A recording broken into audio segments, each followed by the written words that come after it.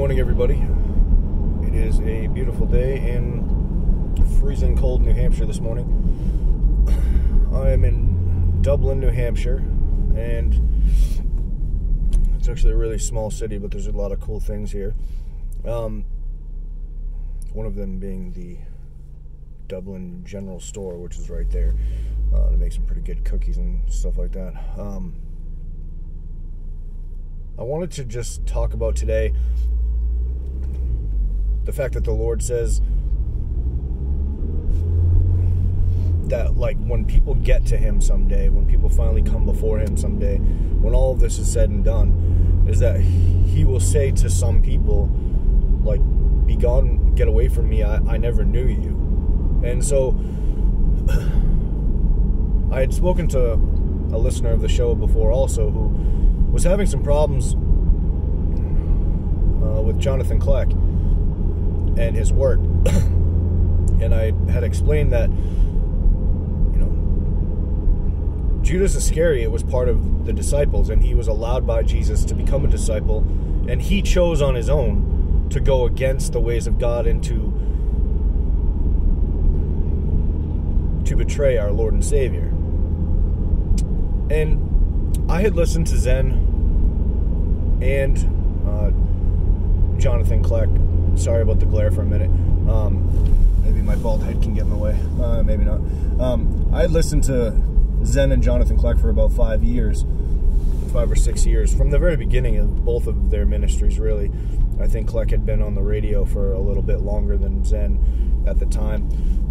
Um, and, and, I love both of them, and I still love both of them, and I pray for both of them. I told you guys that um, the Lord showed me a lot of things through Jonathan Kleck, and He also showed me a dream of Jonathan Kleck. Something about that dream that I knew that the things that Kleck was saying were sort of not antiquated, or if that's the right word, like they they were older. They were like they were something that like when I was born in 1982, and a lot of the toys that were around at that time are now antiques and they're collectible items. And it felt like what Jonathan Kleck was showing me was like collectible items and things of the past or something like that. And obviously, the things he teaches are from the past, but it wasn't the the feeling I was getting. It was it was that there was more to tell. There was more that he was not discussing we all know that Jonathan Kleck denies flat Earth, um, and, and, I had personally had a problem with um, his prideful attitude, and it had been getting worse, and so I kind of distanced myself for a while. But then I had this urge to put out the the video saying that that he is 100% correct, and he is 100% correct on the topics regarding the Catholic Church. He has a true gift to know those things. And I'm not saying that he is a false prophet or any of that stuff. I'm just saying that the way he has gone with his ministry is away from the revelations that are being given to a lot of the people that like discuss the same topics. For instance, Zen and Rob Skiba both disagree on some things, but for the main points like flat earth, the Nephilim, the serpent seed, which Rob Skiba only just started agreeing with the serpent seed after talking with Zen for a long time, and he's even doing his own uh, like TV show or something called Seed, uh, which which both of them are getting tons of flack for. Uh, Jonathan Kleck always gets flack, obviously, but there's also Robert Farrell who doesn't who knows about serpent seed, but it's not one of his um, main topics because Robert Farrell wrote the Super Gospel, and in the Super Gospel, Joseph, Jesus' stepfather, found Mary pregnant and thought that she had been impregnated, just like Eve had been impregnated while Adam was away praying. Satan impregnated Eve. And Joseph, Jesus' stepfather, said that and thought that that's what happened when he was away doing carpentry. He thought Mary had been impregnated by the devil or a fallen angel. That was a very common knowledge item at that time. But what's happened is just like and I, I know the King James Bible is prophetic.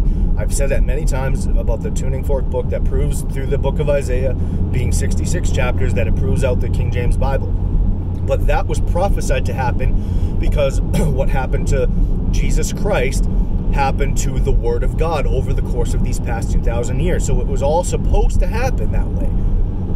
But just like Jesus changed the water into wine, he saved the best for last. And we, right now, are getting the best for last. And if people, like Jonathan Kleck, do not want to accept those best things that have been saved for last by the same Savior that he proclaims to love and, and receives his gifts from, then that is on him. But if you continue to agree with that and listen to that and accept the fact that he's prideful and he doesn't want to listen to people that have honest questions, he doesn't want to have discourses or discussions if it goes against what he thinks, then that isn't being an open, prayerful, humble brother in the body of Christ. That's just the way that it is. And I'm not saying that I am perfect in any area that I'm telling you about. I'm just saying that this is what has come about. And it almost came about right after I was talking about him being 100% correct. And obviously, back in the day, Zen was not a flat earther. Even his intro to his show says people thinking the earth is flat. And now Zen does think the earth is flat because he researched it and found out that it was true. And then it proved out all of the work that he had done over the past 10, 15 years. So also Rob Skiba. He had to humble himself because he lost about 90% of his sponsorships when he went on like the Hagmann and Hagmann show or whatever show he was on and he was talking about like flat earth. Everybody that was part of the church, you know, left. Same thing happened to Zen. Pastor Dean Odle was on his show talking about flat earth and then he started condemning Zen because Zen was saying that the Holy Spirit is feminine, which, if you go back to the original translations of the language, it was. And speaking back to about the King James Bible being prophetic, although it was prophetic, the Targums, the original translation, has things in it that mention the Word of God multiple times interacting with the human race and God's people because he is our advocate. I heard that in scripture the other day when I was listening to a Zen and uh, Rob Skiba show that somewhere it says that he's our advocate, but God himself said to Jesus in another text that I forget the name of the text, it says, God calls Jesus our advocate. So you need to think about that um, I was listening to a comedian the other day, and I thought it was like a wholesome type comedy show. Turned out he started swearing after a couple of things, and I was like, oh, never mind. But the comedian even said he would only acknowledge old religions because they have the original document. So like he's not going to believe in he said like screw you to Scientology because they're not even an old religion. They just made that up recently. But if you do go back all the way, originally it was the order of the ancients, the order of Melchizedek, which Jesus is the fulfillment of the order of Melchizedek in the re, in reality because he is a priest and our king, the high king. Originally that was one of Noah's sons that was Melchizedek. So think about that. You need to go back to the original. And if you're not reading the Targums, then you really don't know the original translation. So you can't say that the Holy Spirit isn't feminine. Because what is the family unit right now? The family unit is a man, a woman, and a child. The male child is the one that brings on the name of the family. That is how they even do the genealogies in the Bible, is through the, the male son. That's why every king wants a male son to carry on his name. And that's why in Braveheart, the king was pissed because his son was gay. And obviously, a gay son is not going to carry on your name. And you know, Longshanks is like, well, if he wants, if if my son wants, you know, his queen to rule in his place, then fine, let him let let his queen rule. You know, but that's what I'm talking about. You, the the destruction of the family unit through Madame Blavatsky's satanic plan, which all Satanists follow to destroy the family unit, is a father, a mother, and a son. A, a trinity it creates a triangle if you put it into a geom geometric shape. So think about that for a moment. there is a huge push to destroy this family unit that I'm talking about. So if there is a if the Holy Spirit is a male, that's three males. That is not something that is making man in our image. See what I'm saying? Because when the Lord is speaking about man in our image, he's talking about the family unit. It's like it's not just, oh, I'm talking about all men. Think, think about that logically for a minute. What? Why are there so many women in the world then? What does that have to? It's not just so we can procreate the earth, and it's not just because you know you know, basically it's Adam needed a helpmate. Why would Adam need a helpmate? Because the God the Father has the Holy Spirit. It's but in in heaven it's not a sexual thing. We in our fallen state cannot conceptualize even a God that is a spirit. So what how do we conceptualize that? It's in the visualization that Jesus is a man who came down so that we can connect ourselves in our you know finite humanness to our Creator because He's a spirit. And in the beginning, nobody really could see anything. God existed, but it was in an invisible realm. And God decided to create the visible realm. And when He did so, Jesus, the light, let there be light, became visible to all the angels. And then they realized, oh, I can see myself. You see what I'm saying? And I've seen this happen in the movie by Disney, Tron. It's, almost like a mockery because they know the, the true text. See what I'm saying? Tron, like the dude that like runs Tron, he looks at himself in a mirror and then it creates another person of himself. All those things in those movies are mockery of the truth. But anyways, if you are going to argue with a brother then at least have the decency to allow that person to come on your show and have a dialogue. Don't get angry. Anger is of the devil. Anger is what caused Cain to kill Abel. Anger is what caused the Pharisees to kill Christ. Anger is what ruins marriages and, and relationships between children and families and parents. Everything that is from chaos, everything that is from chaos and evil is what causes the problems in this world around us. If you just have love and patience and all the fruits of the Spirit, which is the female spirit, because most of the time my dad used to whip my butt. He would just be the one that would go to work and he would whip my butt because that was like the dad position. My mother was the one was like, "Oh, honey, are you okay?"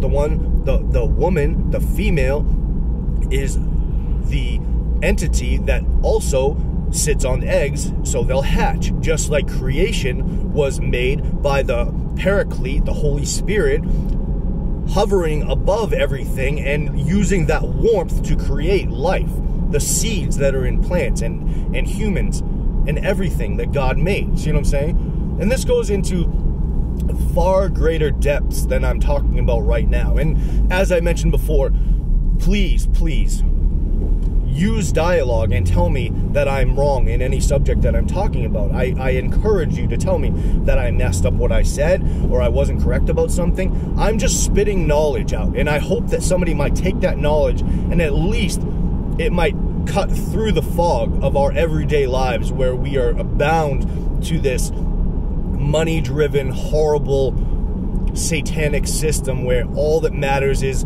what kind of car you drive, what kind of house you have, and how many, you know, dollars are in your bank account, which matters very, very little.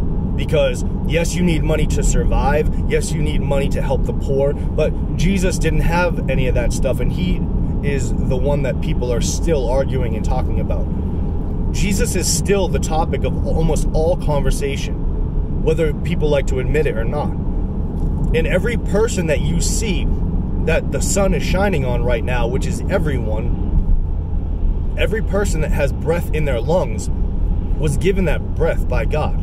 And every person that is alive right now has the sun shining on them, whether they're good or bad, because God deems it to be so. The sun shines on the righteous and the unrighteous alike, but yet we still continue. So let's be the people, let's be the unprideful people that prove out God's plan of why he allowed the wheat and the tares to grow together in the first place. So that in the end, he can say, Look at my people and what they have done. look at my people and how they even in turmoil and even in death and even in persecution, they stood strong. And that's why they deserve the eternal kingdoms that the fallen angels lost in the beginning. See what I'm saying? Earn the kingdom. Earn the things that Christ has laid up for you in heaven. Earn those things and, and store up those treasures in heaven. And help people that nobody helps. Help the people that people are looking down upon because they might have disabilities or they might be poorer than you or maybe they're ugly, or maybe they smell bad, or maybe they're not like you. Maybe they're black and you're white. Maybe they're Chinese and you're white, or you're black and you don't like Chinese people, or whatever it is. In heaven, in the eternal kingdom, there is no race. There is no race. You will just be a spirit entity. And there will be no black, no white, no Ethiopian. And I was just reading the other day that in the beginning, God made men in three different colors. So, realistically, even especially if you believe in evolution, I say this all the time from Destiny Lab song. If you believe in evolution, then you think that we're, we came from apes. So how can apes be racist when really we're all just apes that that shaved faces, you know, shaved our faces, and, and realistically there is no race, there is no color. It's just you're a different tone of ape. Really, right? So so why argue with one another then if that's what you believe? If you're believe in evolution, there's really no point to be a racist. It's it's an evil thing, even if you believe in a falsehood. Right? So I'm I'm just saying all of this so that people might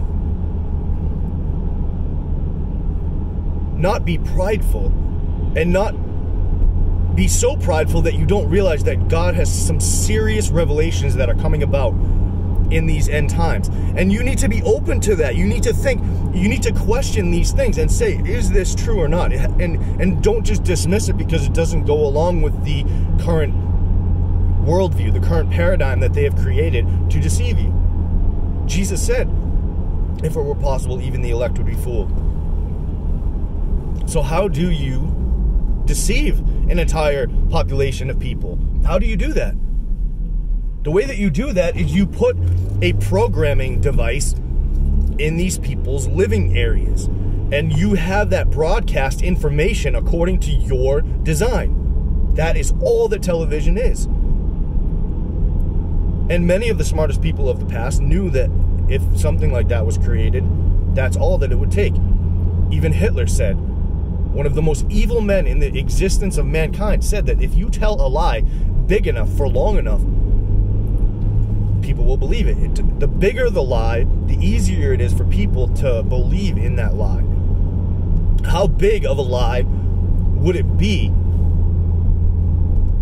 for people to think that the earth is round and that it's spinning 1,000 miles per hour? And if Jonathan Kleck does not want to agree with flat earth, then he does not agree with the word of God. So if he doesn't agree with the word of God, then why even preach about anything? Why even talk about his revelations? If you can't agree with what it says in the Bible, it says firmament so many times. They call it sea level. Put a wa- put water in anything, it always finds its level. Even look in a level. There is a bubble inside of a level that tells you if it's flat or not that is only possible on a flat, level plane Earth. If it was moving 1,000 miles an hour, a level would not work.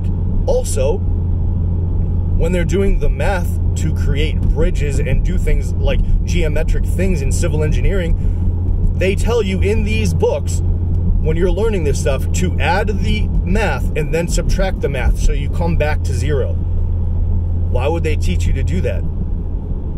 And when they train you, on the Coriolis effect, which is the the the change in the the trajectory of a bullet because of the spin and the rotation of the earth, like it says in the movie Sniper with Mark Wahlberg. That is a false thing too. They put that in that movie because in training manuals, they don't have the Coriolis effect. They only have the Coriolis effect in the audio speaking of the training people.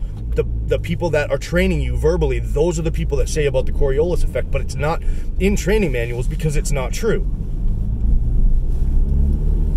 So I just wanted to get that out there. I'm not even sure if I'm going to publish this yet, but I just wanted to have a conversation about that because it has been pressing on uh, me lately. I did delete all of my Jonathan Kleck videos pretty much. I, I might mention it because he does say things that are true. So sometimes I reference like the things I learned from him in the past, but when somebody changes their tune on something, you know, I no longer like to teach from their objective point. So, uh, God bless you guys. Have a great day, and I'll talk to you soon. Bye bye.